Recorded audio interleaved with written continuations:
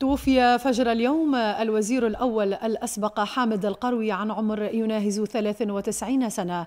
والقروي هو طبيب أصيل مدينة سوسة ولد في الثلاثين من ديسمبر سنة 1927 شغل مناصب سياسية عدة أهمها منصب الوزير الأول لمدة عشر سنوات من سنة 1989 إلى سنة 1999 رحم الله الفقيد ورزق أهله وذويه جميل الصبر والسلوان وإنا لله وإنا إليه راجعون.